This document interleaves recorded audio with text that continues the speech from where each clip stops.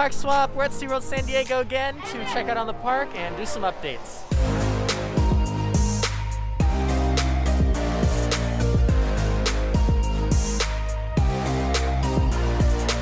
Look at this massive wall that they put up right in front of the Submarine Quest attraction. And I don't know if you can notice, uh, but the tracks are now gone for the Submarine Quest ride. They're effectively totally taking it down and uh, just leaving the Ocean Explorer area as the other attractions for now. So I wonder if that means something new is coming here or if they just thought it was about time to get rid of it.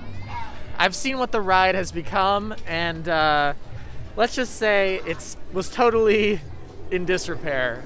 So it makes sense that they're removing it now, but it's just crazy. There's a great video that just came out by Defunctland on this crazy, weird, dark ride. Well, I guess it's kind of not really a dark ride, a light ride, I should say. Uh, what a weird attraction and what a good video that Defunctland made on it. So definitely check that out.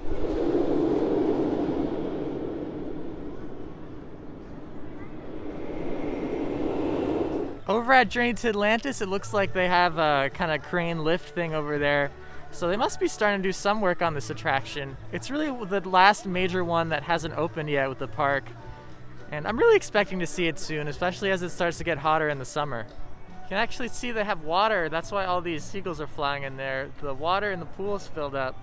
I don't think that's been true for a very long time. So that's a good sign that they're gonna start testing this soon and starting to get the ride ready to open. We're also here on a mission today. We're gonna try to get the free pass holder Christmas ornament.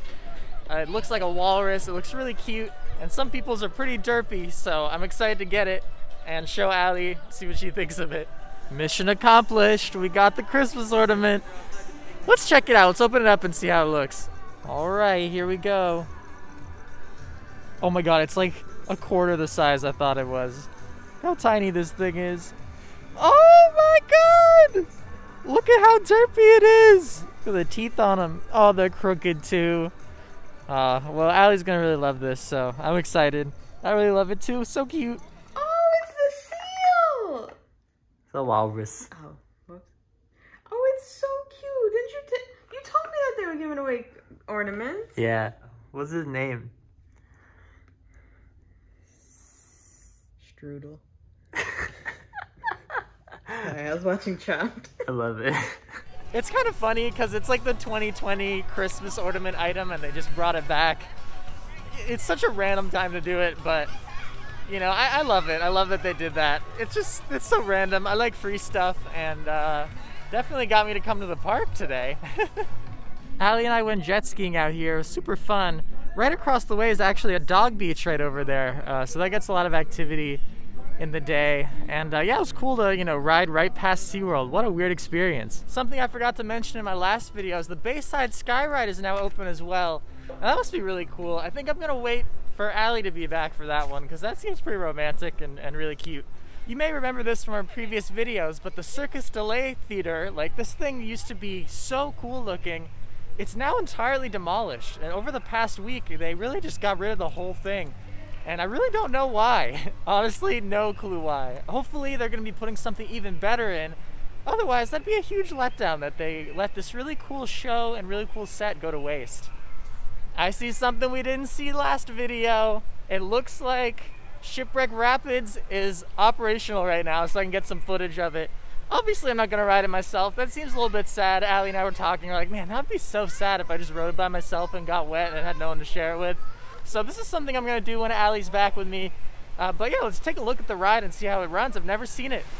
Woo! Woo!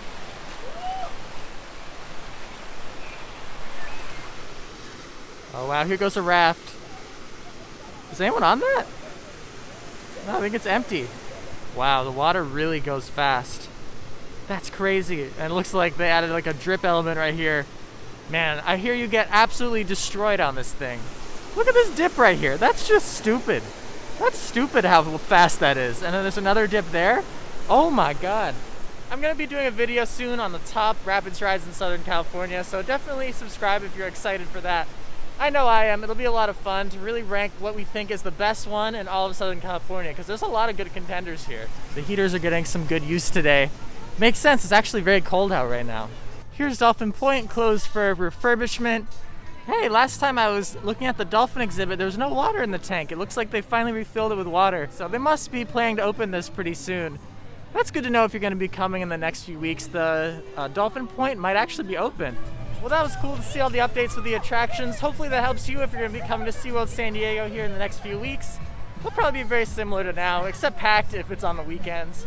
Definitely always better to go at nighttime if you don't care and you have a season pass.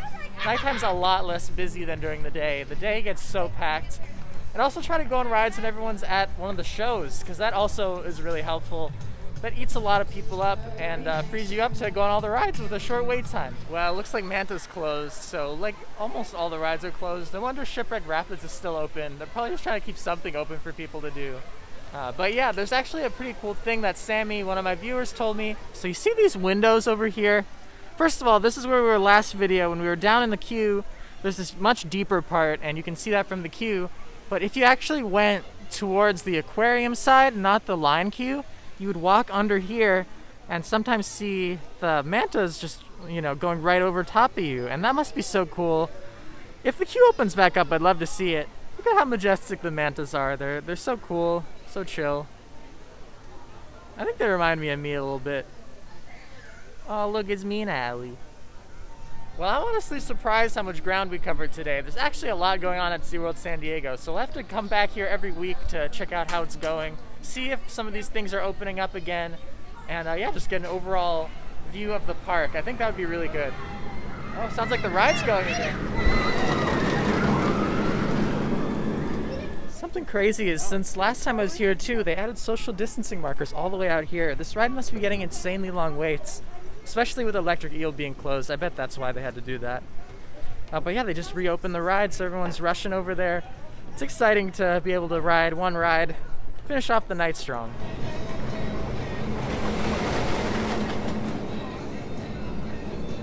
Rode Manta once, that was so good, rode it in the back seat.